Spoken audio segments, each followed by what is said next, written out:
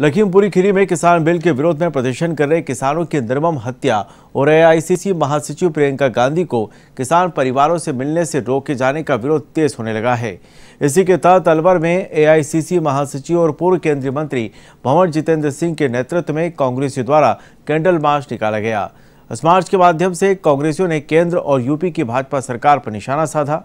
नंगली चौराहे से शुरू हुआ कैंडल मार्च, शहीद स्मारक पर पहुँचा। इस दौरान श्रम राज्य मंत्री टीकाराम जूली, विधायक जोहरीलाल मीणा, शकुंतला रावत, साफिया खान, संदीप यादव और कांति मीणा, नगर परिषद सभापति बीना गुप्ता, कार्यकारी जिला अध्यक्ष योगेश मिश्रा समेत कांग्रेस के पदाधिकारी मौजूद रहे।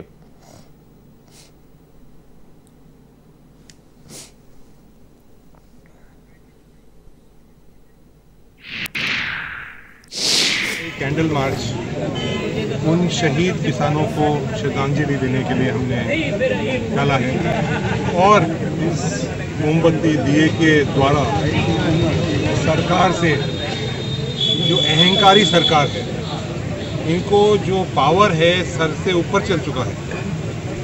और हिटलर राज कर रहे हैं, हिटलर राज चल रहा है, अंग्रेज़ों से बुरा राज हो चुका है।